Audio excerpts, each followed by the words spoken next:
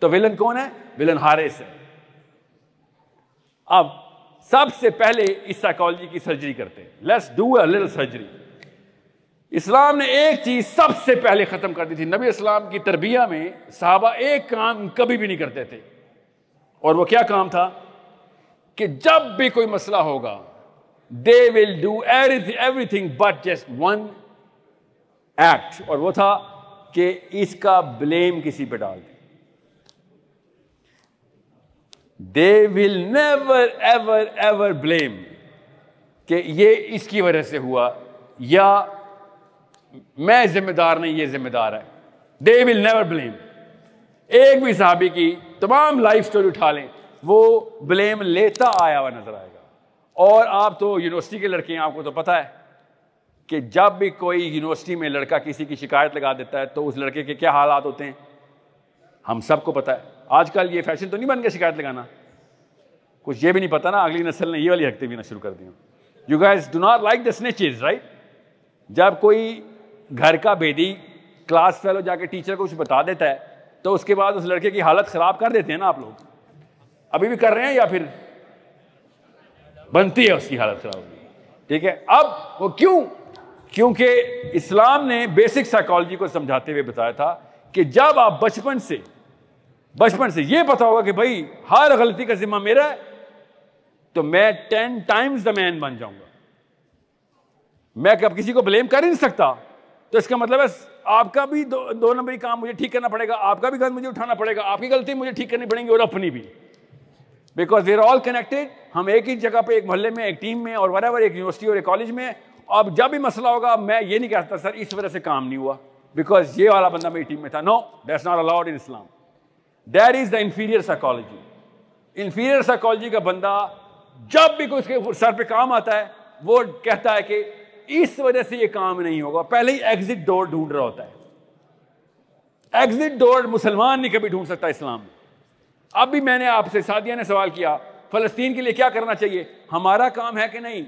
सबसे पहले मस्जिद से आवाज़ आई, हमारा काम नहीं है। क्या कर दिया उन्होंने? पार्लियामेंट हाउस पे डाल दिया, आर्मी पे डाल दिया। समझ में आपसे पूछूँ, आप भी कहेंगे, सर, हमारा काम तो नहीं है।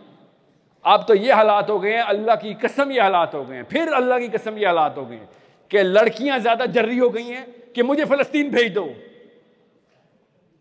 मुझसे नहीं देखे जा रहे हो और लड़के कह रहे, नवाज़ शरीफ का काम है, सर। ये पहली दफ़ा ऐसे हालात हुए क्यों? अंदर की फितरा चमक के बाहर आई कि सर, ये तो नहीं हो सकता। क्योंकि वो एम्पथी की जो सेंस जो अल्लाह ने खातून को दी होती है, वो एम्पथाइज करी जा रही है बार बार इस्लाम नहीं बोल रहा वो, याद रखिएगा। वो नेचुरल एम्पथी बोल रही है।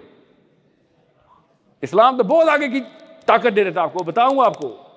पॉइंट ये है, अगर हम ये ब्लेमिंग बचपन से करते आएँगे तो फिर तो कभी भी, कोई भी नहीं बच सकता। हमारे सामने लोग मर रहे होंगे, उस लड़के ने भी तो ब्लेम दे दिया था ना।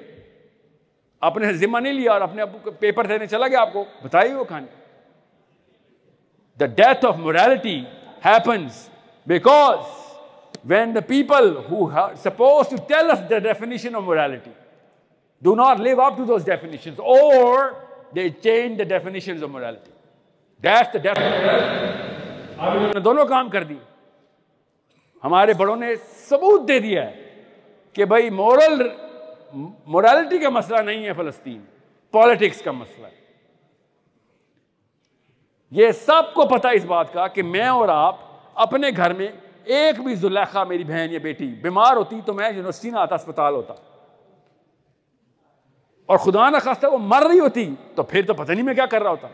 मगर हमारी मोरालिटी चैलेंज नहीं हो रही अंदर से कि तैंतीस हज़ार जुलेखा मर चुकी हैं। सैंतीस हज़ार। सैंतीस नहीं, सैंतीस सौ नहीं, तीन हज़ार सात सौ नहीं। तीस हज़ार प्लस सेवन थाउज़ेंड और मुझे फ़र्क ही नहीं पड़ा, इसका मतलब है मोरालिटी की डेफिनेशन मेरी कहीं पे इंटैक्ट है। जैसे ही इंसान की मोरालिटी की डेफिनेशन टूटती है, वो डिप्रेशन में गिर जाता है। वो नाइलिज्म में और दवाइयों के ऊपर आ जाता है। हम में से कोई भी दवाइयों पे नहीं आ रहा। किसी को एग्जिस्टेंशियल क्राइसिस नहीं हो रही। बिकॉज़ हम किसी ऐसी डेफिनेशन के ऊपर पूरे उतर रहे